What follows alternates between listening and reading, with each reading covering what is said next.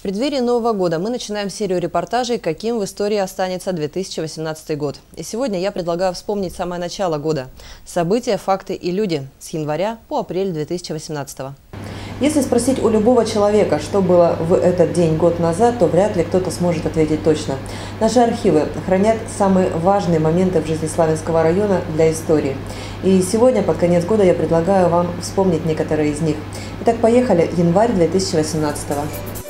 Как только отгремели новогодние салюты, жизнь Славянского района закипела. Одним из самых приятных моментов Нового года стало торжественное открытие после реконструкции в рамках программы формирования доступной городской среды партии «Единая Россия» двора многоквартирных домов по улице Лермонтова, 270. Очень приятно э, иметь такой обновленный двор, то, что у нас было, не сравнится с нынешним. Э, много спортивного инвентаря, счастью нет предела. Спасибо огромное, нет слов. Благодаря этой же программе в январе был торжественно открыт реконструированный парк в Харжевском сельском поселении. За 2018 год на благоустройство дворов по этой программе было выделено более 20 миллионов рублей, большая часть из которых направлена на реконструкцию дворов в Петровском сельском поселении. Январь 2018 года оставил свой след в веках и в Прикубанском поселении. Там на средства благотворителей на территории храма была установлена ротонда для набора освященной воды. Благоустройство территории не прекращается, ведутся планомерные работы. Здесь предстоит нам построить еще несколько основных зданий, включая э, здание основного храма, потому что эта часть здания – это э, наша входная группа, и когда-то она будет притвором. Вот и прошел почти год с того момента, как Краснодар Автодор установил ограничения на въезд в город для всех видов транспорта по трассе со стороны Анастасиевской. Причиной такому решению стало увеличившееся количество аварий со смертельными исходами на этой дорожной развязке. Спустя год можно говорить о том, что мера оказалась действенной количество серьезных аварий на этом участке сошло на нет. А еще в самом начале года в Славянский район приехали сотни лучших легкоатлетов Краснодарского края, чтобы заявить о себе в первом старте года, который называется «Краевой рождественский турнир». Представлены все муниципальные образования нашего края.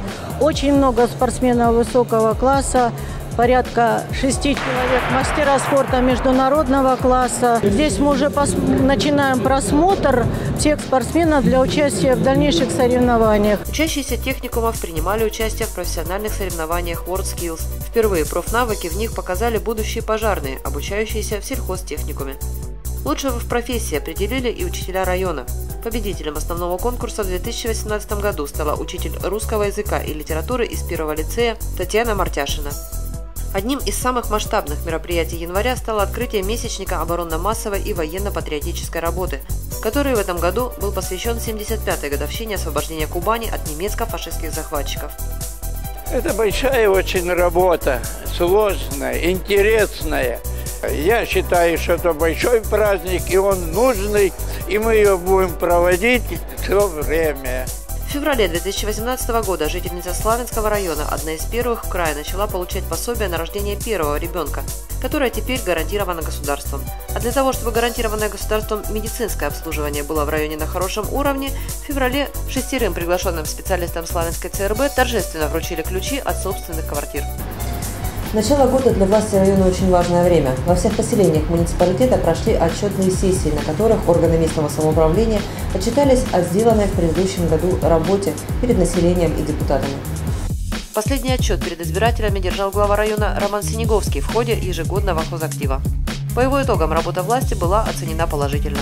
В целом, если бы все так работали, как Роман Иванович, как э, вся его команда, как э, весь депутатский корпус. Всем огромные слова благодарности, так держать.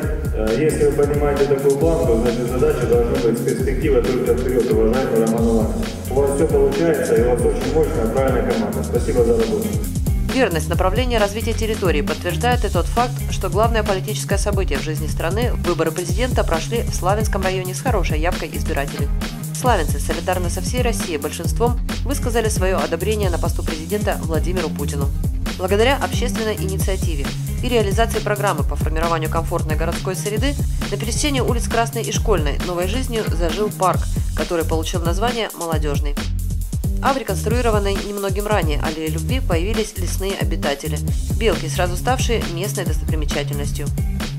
Своими успехами в начале 2018 года нас радовали юные робототехники и исследователи станции юных натуралистов. Зима и начало весны – это всегда прекрасное время для больших концертов, которые организует славянская культура. В уходящем году масштабно прошли проекты «Пою мое отечество» и «Тебе поем мы, Родина героев». Снег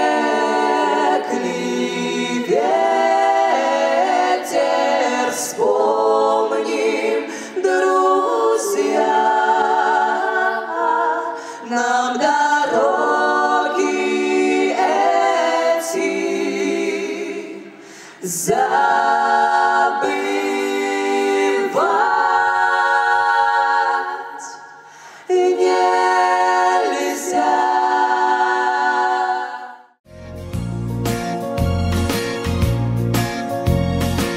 теперь о погоде. Январь, февраль, март и апрель не принесли в 2018 году никаких сюрпризов в виде погодных аномалий. Ветрено и прохладно.